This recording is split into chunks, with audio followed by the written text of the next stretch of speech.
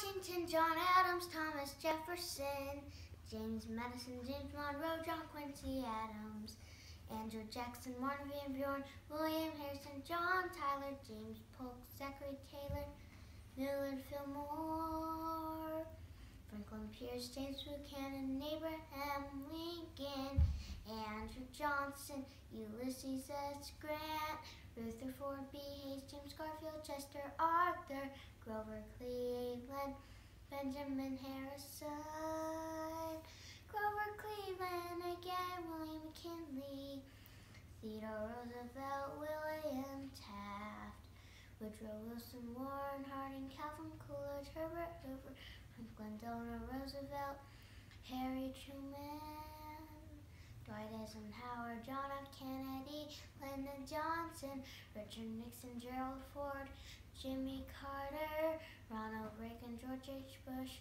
Bill Clinton, George W. Bush, Barack Obama, Donald Trump.